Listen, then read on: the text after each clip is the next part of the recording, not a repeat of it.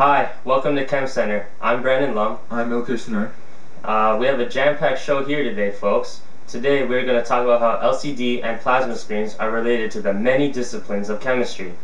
Our topics include the production of TVs, watches, the excitation of gases, ionization energy, screen burn-in, and electrodes in LCD screens. So without further ado, here's our featured presentation. Prepare to be educated. Prepare to be entertained. Prepare, to, be, edutained.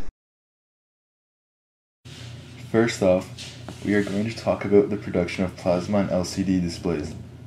A major greenhouse gas that is part of the production is nitrogen trifluoride, or NF3. Its shape is trigonal pyramidal. Along the production line, NF3 is used to create microcircuits in flat panel televisions. It is also used to clean CVD reactors. CVD stands for chemical vapor deposition, and CVD reactors are pressured gas chambers in plasma televisions. Now, with an increasing demand for televisions, more NF3 is being produced and released into the atmosphere. From 1992 to 2007, the amount of NF3 in the atmosphere increased from 100 tons to 4,000 tons. NF3 is also 17,000 times more effective at warming the atmosphere than equal mass of carbon dioxide. The Kyoto Protocol has not even recognized it as a greenhouse gas, despite its detrimental effects on the planet and the atmosphere. Now, we are going to talk about watches and portable displays. You're probably wondering why these items are a part of this LCD and plasma topic. Well, watches and other portable displays use LCD screens. Watches are powered by the button cell battery, this is because of its small size and it is long lasting. Also, LCD screens are used because of its low power consumption, so a battery is able to support it. Here are the reactions occurring within the cell. The oxidation reaction is solid zinc reacting with two aqueous hydroxide ions. This produces solid zinc oxide, liquid water, and two electrons. The reduction reaction is solid mercury oxide reacting with liquid water and two electrons. This makes liquid mercury and two aqueous hydroxide ions. The anode is where oxidation occurs and the cathode is where reduction occurs. The electrons travel from the anode to the cathode, producing a current. Our next three sections will be related to plasma displays. The excitation of gases is directly related to producing light. The electric current excites the inert gases in the chamber. When the gases return to their normal state, they release ultraviolet light. The UV light strikes a phosphor, exciting it. When the phosphor returns to its relaxed state, it releases visible light. The way plasma displays varied color is by changing the pulse of the electricity. Increasing the pulse increases the color intensity. Decreasing the pulse lowers the intensity. From this, 256 shades of red, green, and blue can be produced, which in turn creates 16,777,216 different colors. Next is how ionization energy is involved in plasma displays. Basically, this is the amount of energy needed for the inert gases to become excited and lose an electron. Since inert gases have a full valence electron shell, a lot of energy is needed to take an electron from them. This is why plasma screens consume high amounts of energy and why plasma is not used in portable devices. Just imagine a portable device using plasma technology it would either have a huge battery or you would have to charge the device very frequently, making it quite inconvenient. Anyways, back to what I was talking about before. The inert gases become excited. Eventually, they return to a relaxed state and releasing ultraviolet light. The UV light strikes a phosphor, exciting it, which produces a color. Lastly, a major problem with plasmas is screen burn-in. This issue occurs when a still image is left on the screen for an extended period of time.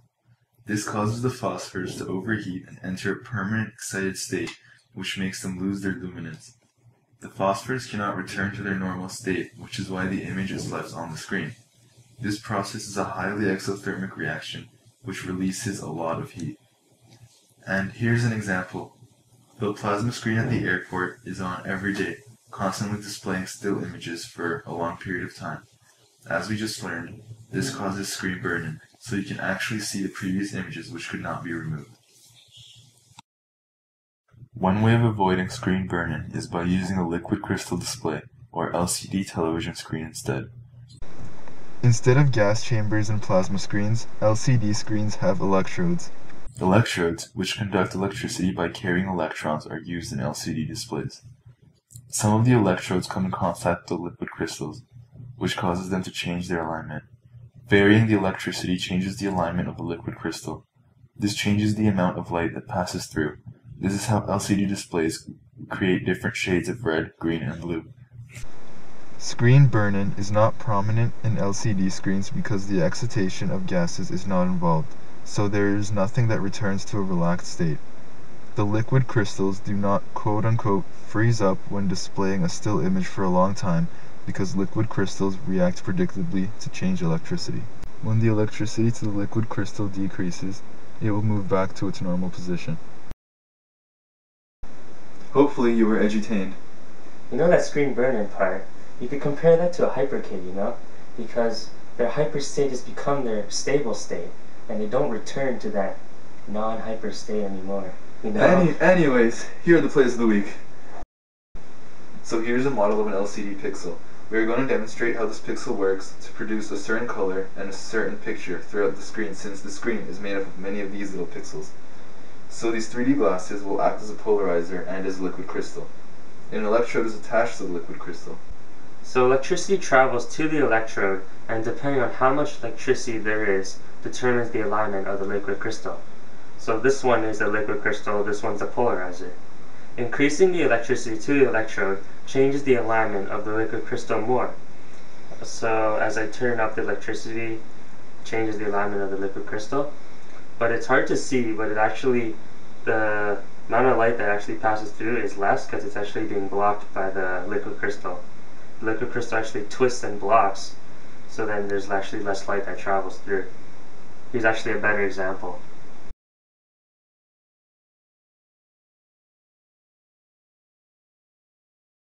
Okay, so this now represents a plasma pixel. Inside the plasma pixel there are gas chambers. Electricity excites the gas chambers, and which causes the electrons to fly around and eventually strike a phosphor, producing light. Uh, to change the shade of the color, the pulse of the electricity must change, which will be demonstrated. A slow rate of change produces a low intensity of color, and a higher rate of change produces a high intensity of color. And uh, you can't actually see this on your TVs because it refreshes at about 60 times a second.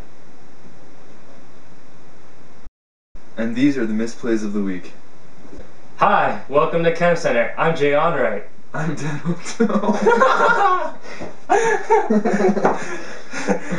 okay, I'm keeping that. Okay.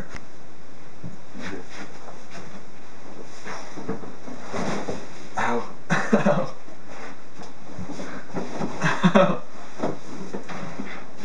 Ow. okay. Um.